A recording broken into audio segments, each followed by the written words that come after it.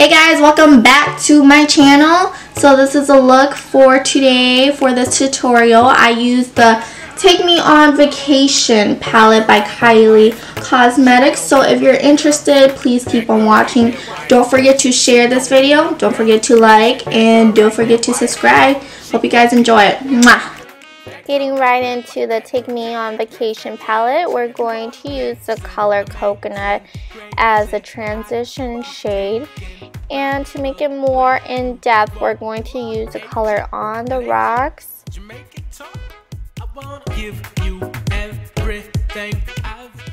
To make this eye look more warmer, I'm going to use the color Spray Tan and then we're just going to blend that in. I said dat, D-A-T, dat.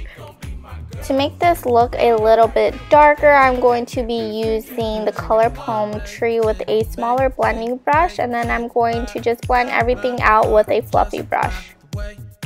I'm going to wet my brush with my Infallible spray and then we're going to go in the color Paradise with a flatter brush and this is going to give you that shimmer shimmer look.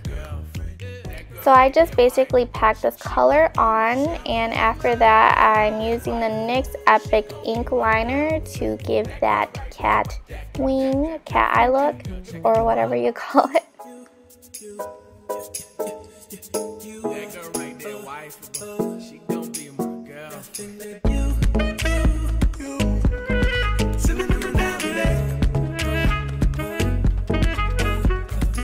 Next, I'll be using my Maybelline Lash Sensational Mascara. And of course, I'll be adding my false lashes.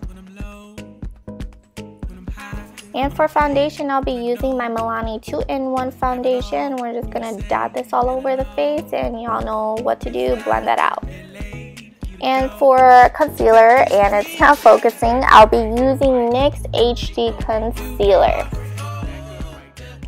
So you guys already know under the eyes, forehead, bridge of my nose, tip of my nose, and my chin. And we're just going to blend everything out. To cream contour, I'll be using NYX HD Concealer as well, but it will be the deepest shade. And then we're just going to add dashes on the forehead, blend that out. And then also on my cheekbones, and then we're just going to blend that out.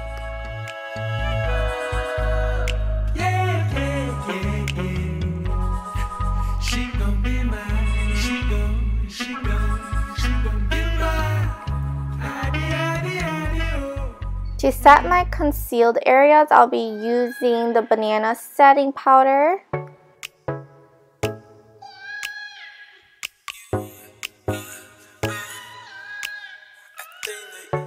To set my contoured area, I'll be using my e.l.f. bronzing palette. Bruh. Look how much bronzer that is. I really try to play it off. Yeah, so we're just going to set the contour area and I'm going to use this to contour my nose as well. With the darkest shade on this bronzer palette, I'll be using this to make my contour a little bit more cut. Then, of course, I'm going to blend everything out with my Kabuki brush. For my highlight, I'll be using Skinny Dip with the highlight Glow Up. And y'all already know, this is my new fave highlight. Like my new favorite, for real.